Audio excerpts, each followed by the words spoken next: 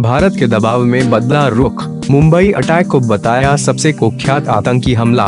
Pulwama terror attack के mastermind और भारत में मोस्ट वांटेड पाकिस्तानी मसूद अजहर को ग्लोबल आतंकी करार दिए जाने के प्रस्ताव पर वीटो लगाने के बाद भारत के साथ अमेरिका, ब्रिटेन और फ्रांस का दबाव झेल रहे चीन ने अपने रुख में बदलाव का संकेत दिया है।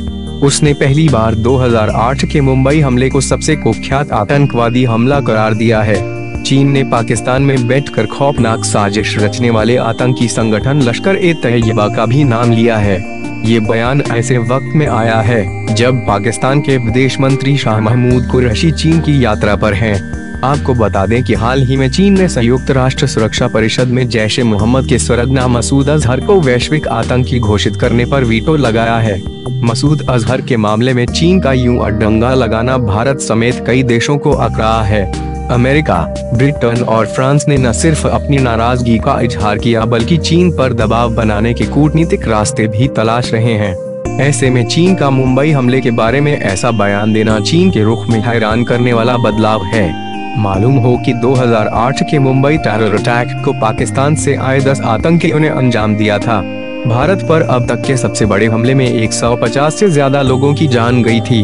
अपने अशांत शिंजियांग प्रांत में आतंकवादियों के खिलाफ व्यापक अभियान पर जारी श्वेत पत्र में चीन ने कहा है कि पिछले कुछ वर्षों में आतंकवाद और उग्रवाद के वैश्विक प्रसार ने मानवता पर आघात पहुँचाया है। श्वेत पत्र में मुंबई आतंकवादी हमले को सबसे कुख्यात आतंकवादी हमलों में से एक करार दिया गया है। दिलचस्प है कि शिंजियांग में आतंकवाद एवं उग्रवाद के खिलाफ लड़ाई और मानवाधिकारों की सुरक्षा शीर्षक वाले इस श्वेत पत्र को ऐसे समय में जारी किया गया है, जब पाकिस्तान के विदेश मंत्री शाह महमूद कुरैशी चीन की यात्रा करने वाले हैं।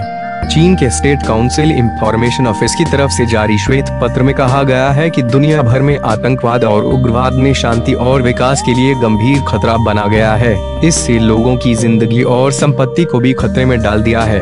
हालाँकि, यह श्वेत पत्र चीन के दोहरे रवैये को ही प्रदर्शित कर रहा है। अभी पिछले हफ़्ते ही चीन ने पाकिस्तान आधारित आतंकी संगठन जैसे मोहम्मद सरगना मसूद अजहर को वैश्विक आतंकवादी घोषित करने के संयुक्त राष्ट्र सुरक्षा परिषद के प्रस्ताव को वीटो कर रोक दिया था।